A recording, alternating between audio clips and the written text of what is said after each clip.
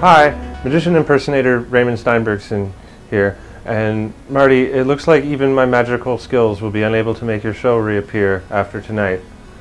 Please consider me for future roles. Fantastic, wonderful career, great achievements. All the best for the future. Hi, Marty. It's me. Don't know if you knew this, but uh, I'm pregnant. I don't know who the father is, but I'd like it to be you. I'm gonna miss your show. Laura and I wish you and Arlene all the very best as you head into retirement. I think you'll find it's not all that bad.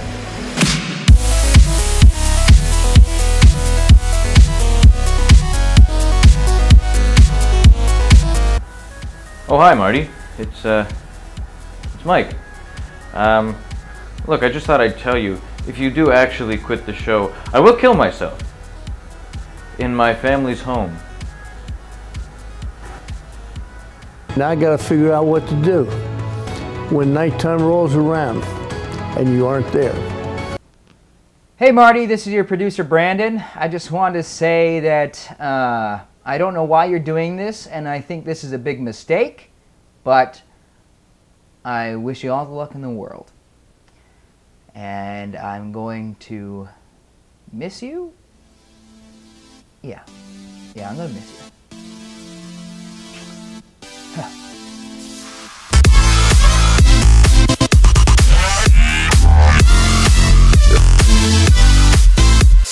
This is Mayor Rob Ford.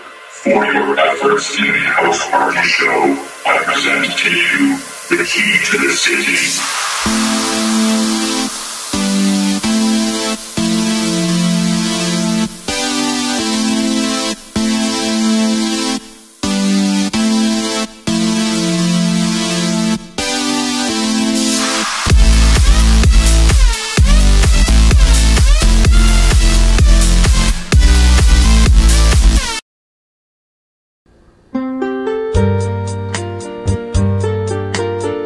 Marty Topps.